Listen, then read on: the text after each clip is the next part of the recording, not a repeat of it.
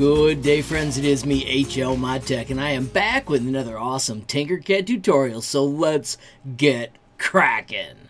Friends, a user on the Tinkercad subreddit asked how to get these two hexagons exactly connected.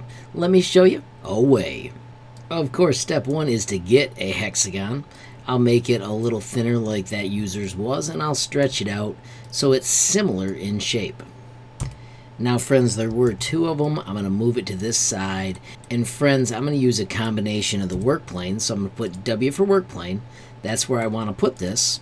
And I'm going to use cruising. So I'm going to click on that, do C for cruising, and I want to cruise to this line. So see how I was able to click and switch?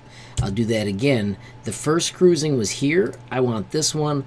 I'm going to grab that dot, and I'm just going to snap it to that other work plane. Bingo. They are lined up.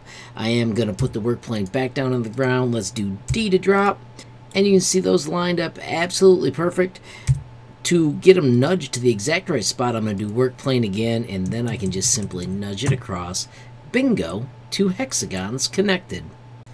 So there you have it, friends. Two hexagons aligned using the new cruising and the work plane tool. Friends, as I wrap up, let me remind you about my website, hlmodtech.com. I've got the page dedicated to Tinkercad with a ton of awesome categories, and then right below it, the first day lessons. These are great for anybody that's just starting out in Tinkercad. Friends, I also want to highlight the super cool built-in messaging. You can click that button, add your question, comment, or suggestion, and reach me almost instantly. Friends, I do also want to highlight the link to the Tinkercad Community Discord. As you can see, there are more than 600 members, and it's a fantastic place to talk everything Tinkercad. Finally, friends, of course, if you enjoyed the video, please give it a like.